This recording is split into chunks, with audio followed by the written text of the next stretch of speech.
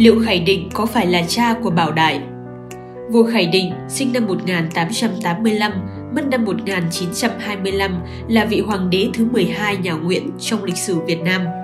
Ông có tất cả 12 bà vợ nhưng chỉ có một cậu con trai duy nhất là Nguyễn Phúc Vĩnh Thụy, con bà Hoàng Thị Cúc, sau này là vua Bảo Đại. Theo sử sách chép lại, vua Khải Định bất lực, không thích gần đàn bà, chỉ thích đàn ông.